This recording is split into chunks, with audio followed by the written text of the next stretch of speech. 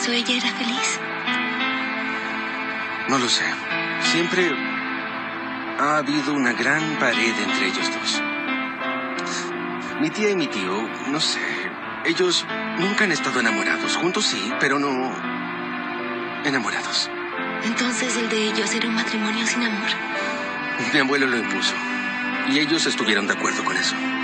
Pero ha pasado mucho tiempo y ya se están derrumbando.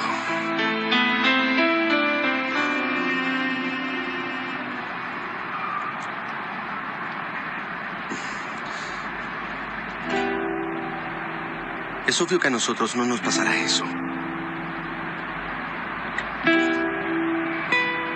Ah. No mires atrás, mi mamá está mirando. No mires, no mires, no mires, no mires. Está no bien, mires.